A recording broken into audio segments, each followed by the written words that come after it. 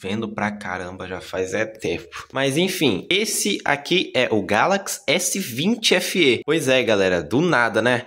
Comprei esse aparelho aqui por apenas 540 reais, galera. Vocês não vão acreditar nesse preço? Pois é, eu comprei por 540 reais. Tá prestando a digital, tá prestando as câmeras.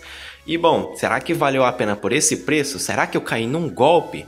Vamos descobrir tudo nesse vídeo, mas antes já deixa seu like, se inscreva no canal e é isso, vou falar tudo sobre ele no vídeo de hoje. É, esse aqui, como eu disse, é o Galaxy S20 FE, que é a versão Snapdragon, tá? Mas não tem 5G, beleza? É, esse aparelho aqui tá muito poderoso, já instalei foi um monte de coisa, já instalei o WhatsApp, já instalei o Filmora, já instalei um milhão de coisas, milhão de coisas, CapCut, tudo aqui já tá nesse aparelho aqui, porque eu pretendo usar ele como aparelho principal, tá galera? Para editar meus vídeos, para fazer tudo quanto é tipo de coisa mais pesada nesse dispositivo aqui, jogar meus jogos também.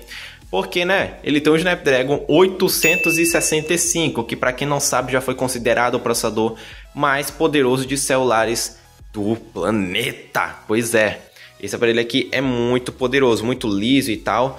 Mas só tem um porém, galera, ele não atualiza mais. Mas quem liga, né? Quem liga para quem tem um aparelho muito poderoso em mãos? Quem é que vai ligar para atualização?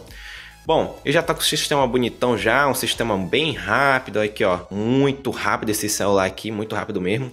Suas câmeras estão bonitas demais também, ó. Suas câmeras estão perfeitas praticamente, dá para tirar um monte de foto. É, e bom, galera, sua tela também tá uma tela muito bonita, tá? E olha só, o brilho tá aqui, ó. O brilho dele alto aqui é muito bacana, muito bacana mesmo. A tela dele tá muito bonita, uma AMOLED de 120 Hz. A única coisa que tem aqui, ó, é só um trincadinho aqui, ó, bem pequenininho. Nem dá pra ver aqui no vídeo, ó. Nossa, é muito pequeno isso aqui. Mas enfim, só isso que tem de defeito nele, porque de resto assim tá funcionando tudo normal que eu pelo que eu analisei desse aparelho aqui, tá? Aqui, ó, traseira dele bonitinha até. Eu, eu não acho o S20 FE tão bonito assim não, tá, galera? Sendo bem sincero com vocês.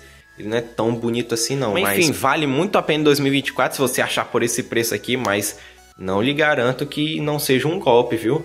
Eu tive muita sorte com esse aparelho aqui. Mas se, se você achar por esse preço, meu amigo, tome muito cuidado. Mas enfim, galera, é, acho que é isso aí. Espero que vocês tenham gostado do vídeo. Lembrando, deixa o like, se inscreva no canal. E é isso, até mais e fui.